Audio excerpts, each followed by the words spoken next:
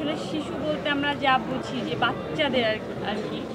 তো আমার মনে হয় সেখানে বয়স না ভেবে আমার মনে হয় প্রত্যেকটা বয়সের মধ্যে আসলে শিশু বিরাজ করে। তো আমরা দিন শেষে আসলে সবাই শিশু। সেখান থেকে আসলে সিনেমাটা আসলে সবার। আমরা তো সবসময় গ্লেমারাস করি করি গ্লেমারাস সিয়াম মানে গ্লেমার দেখি গ্লেমারাস হ্যাঁ এই এইবার আসলে আহ, এই ট্রান্সফরমেশনটা আসলে কীভাবে হ্যাঁ এখানে এখানে আমাদের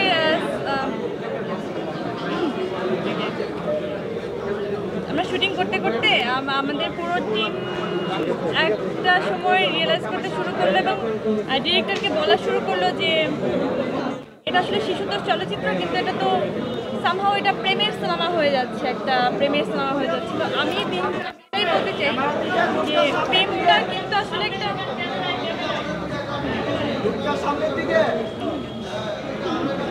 আম- আমি আসলে বলতে চাই যে আহ, যেহেতু এখানে একটা প্রেম আছে এবং প্রেমটা আসলে আমার মনে হয় যে একটা ইনোসেন্সের ব্যাপার আছে প্রেমটার মধ্যে একটা ইনোসেন্ট ব্যাপার আছে।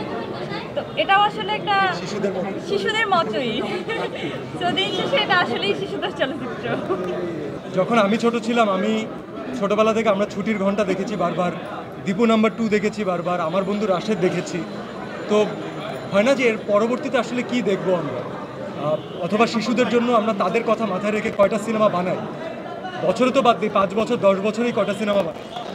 ইটস এ বিউটিফুল ওকেশন যে আমরা এত সুন্দর একটা স্ক্রিপ্ট পেয়েছি, এত সুন্দর একটা গল্প পেয়েছি। আমি যখন নিজে ছোটোবেলায় রাতুলের রাত, রাতুলের দিন পড়েছি, তখন আমার নিজের মনে হয়েছে যে আমার একটা রাতুল ভাইয়া দরকার। তো আমার মনে হয় যে যখন বাচ্চারা এই সিনেমাটা দেখবে, যখন বাচ্চারা প্যারেন্টসদের প্যারেন্টসরা তাদেরকে ডেফিনেটলি নিয়ে আসবে, একটা কানেক্টিং পয়েন্ট বলতে চাই যে এই ছবিটা শিশুতোষ চলচ্চিত্র তার মানে কিন্তু এই না যে এখানে বাবা মা দেখতে পারবেন এখানে কিশোররা দেখতে পারবেন ইয়াং যারা অ্যাডাল্ট আছে, তারা দেখতে পারবেন কারণ প্রত্যেকটা এজ গ্রুপের রিপ্রেজেন্ট করার মতো ক্যারেক্টার এখানে আছে। তো আমি এক্সাইটেড কারণ যে বাচ্চাদের সাথে কাজ করেছি তারা অনেকটা বড় হয়ে গেছে। ওরা প্রথমবার নিজেদেরকে বড় পর্দায় দেখবে। ওদের ডিফারেন্ট একটা অনুভূতি হবে। যেহেতু আমাদের স্লোগান হচ্ছে সুস্থ বিনোদন। তো আমরা চাই আসলেই চলচ্চিত্রটা দিন শেষে সুস্থ বিনোদনেই গড়ে উঠুক। সবাই আসলে সেই সুস্থ বিনোদনটা পাক।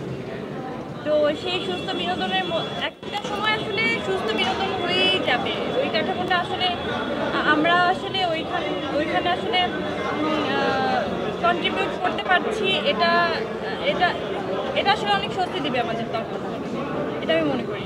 আপনারা জেনে শক্ট হবেন যে যেই বাচ্চাদের সাথে আমরা কাজ করেছি আমরা যতটুকু মনে করি যে ওরা হয়তো এতটুকু পর্যন্ত ভাবে, ওরা তার থেকে অনেক অ্যাডভান্স চিন্তা করে, ওরা অনেক স্মার্ট ওরা অনেক আগানো। তো যেই ছবিগুলো দেখে আমরা আনন্দ পেয়েছি, অনেক কিছু দেখে হয়তো ওরা আনন্দ পায় না।